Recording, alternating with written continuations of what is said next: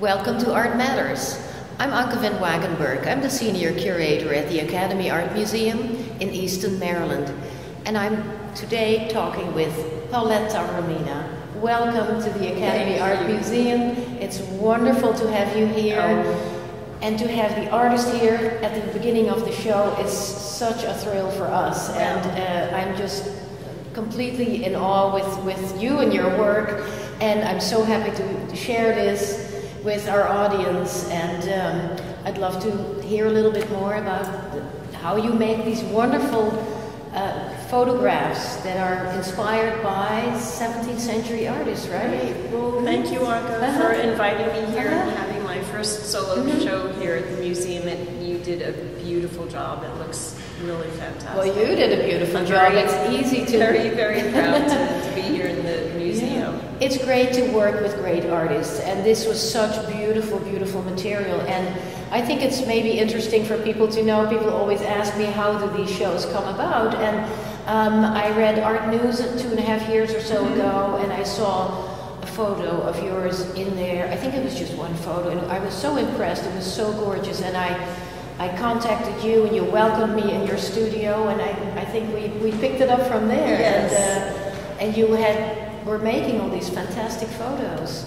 And I had just finished a series of, of Bodegon, um, Mhm. which means uh, from the pantry. And Mhm. I remember I had this fabulous piece of Iberico ham Yes, and, um, and some bread, and we Mhm. and we shared it together. So It was wonderful because I think you had just uh, start, uh, you, you were just finished uh, shooting, and Right. then you said, "You want a, you want a piece of ham?" Right.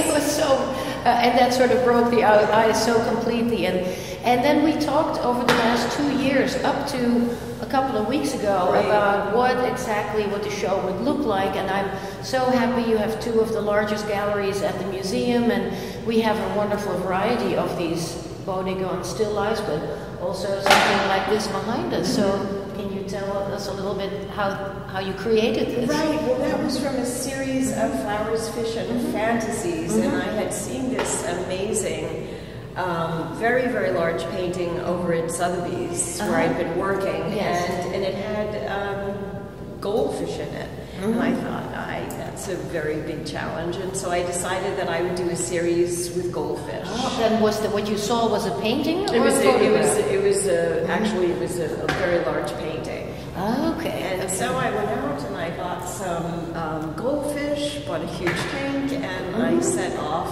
one summer to shoot this series. great. And um, was sort of how I was feeling that summer, a little bit of a fish out of water. A fish out of water. Right. And, and do you and you worked also as a prop manager in Hollywood on several films. Is that Yes. how you find the shells and all these Well, different you objects? know, working um, on seven movies, um, it, I became very resourceful. Mhm. You know, trying to find that one particular prop Uh-huh. um, that an actor has to Mhm. touch or, or use, and Yeah. so. I think because of working in the movie business and creating food scenes Yes. for the movies, you really have to be very um, authentic.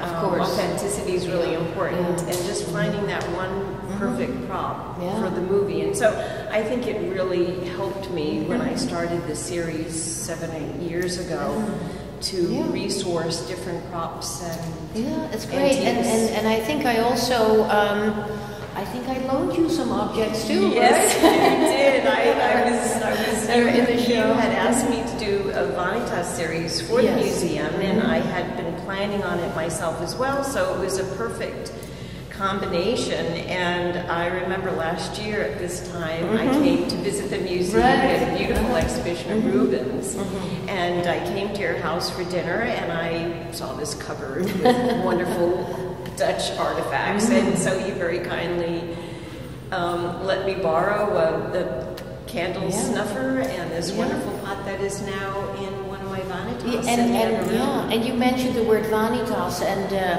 that's also in the book that just came out. Yes. And your first huge, it's a big and beautiful Yes. book uh, by published by the by the Monacelli Press. Monacelli, Monacelli Press, and we have an amazing, uh, fabulous essays. One, of course, by you on, on the mysteries of, of Vanitas. Yes, yeah. Um, So maybe this is a good moment to explain what vanitas is. They're um, pieces that remind people of the brevity of life, right? Right, and you can't take it with you.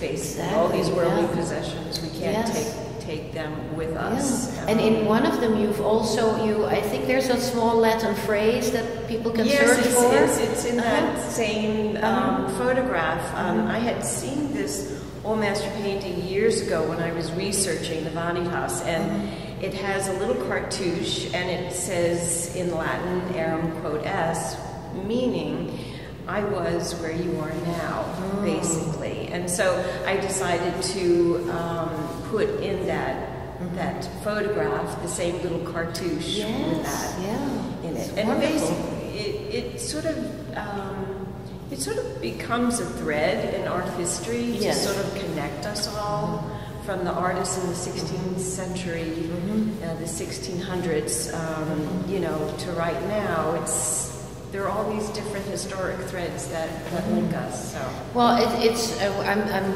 I'm. As I said, I'm thrilled. I'm happy. I'm, I think people will really enjoy it. And this exhibition is also going on to the Snite Museum Yes, in in Dame in so it's traveling from. This is the first location where it will be the first venue, and then it goes on, and I think to possibly to another couple of museums That after that. wonderful. Mhm. That would be wonderful. Just have to thank the museum. Anka, you did an extraordinary job. Well, uh, it's it's easy if to work with, with great work and great artists, and um, the show will be up until July 10th here in Easton, and uh, we also have um, a couple of curator tours. While you go back in New York, I'll lead people around, and those are taking place on uh, May 4th on a Wednesday at 12 noon, and the second one is on June 15th, also at 12 noon. And at the same time, we have um, the books, your books will be available. You'll sign a lot of copies, I think, for people. They can be purchased here at the museum. They're, they're beautiful. And at the same time, we also have opening uh, today on April 22nd a Peter Milton Living Old Master exhibition, as well as Brooke Rogers in the offing. This was Art Matters. Thank you for watching.